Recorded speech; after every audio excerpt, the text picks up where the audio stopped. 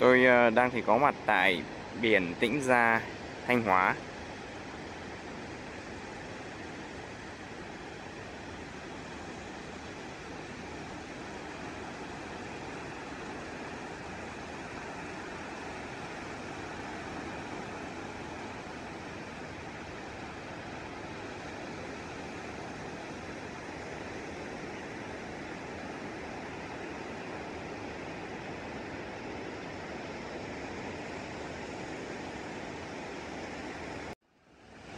Dân địa phương ở đây thì họ đang buông lưới để bắt hải sản. Thì để giải thích cho các bạn hình dung cái cách đánh bắt của họ thì như thế này. Lưới thì là một cái đoạn như này. Bên trên thì người ta gắn những cái mảnh phao để đảm bảo cho nó nổi được. Và dưới thì người ta gắn những cái mảnh chì, đảm bảo là chân thì nặng và đầu thì nổi lên Phía này thì người ta gắn một cái dây thật là dài. Người ta sẽ dùng một cái thuyền hỗ trợ để thả cái lưới này tít ngoài khơi Và mang cái đầu này vào phía gần bờ. Họ sẽ tập trung để kéo. Như vậy lưới sẽ từ ngoài khơi đi vào bờ.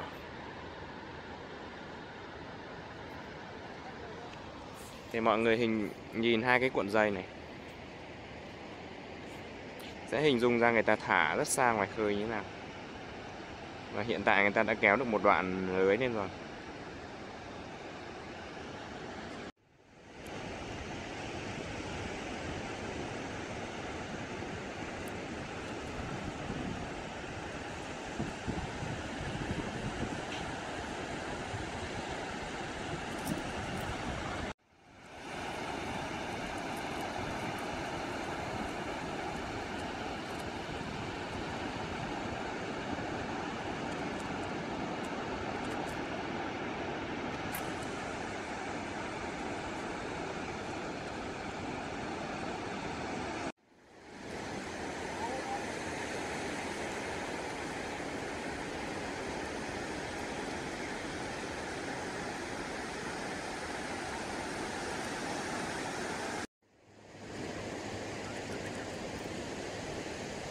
Những cái đoạn gần bờ thì thường là không có cá.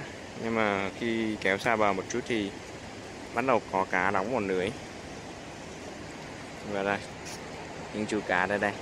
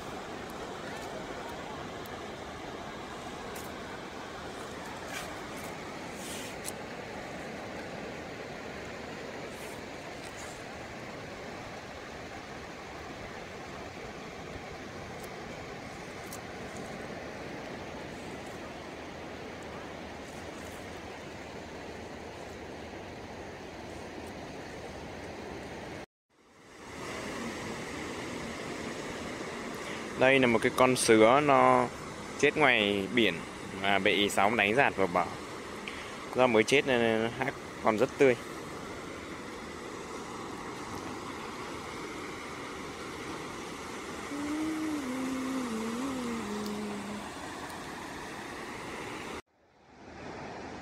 Tại những cái nàng trài ven biển như thế này, khi mà ta được hòa mình vào với thiên nhiên biển cả đời sống con người chất phác, giản dị, luôn luôn đem lại cảm giác thân thương và thư thái.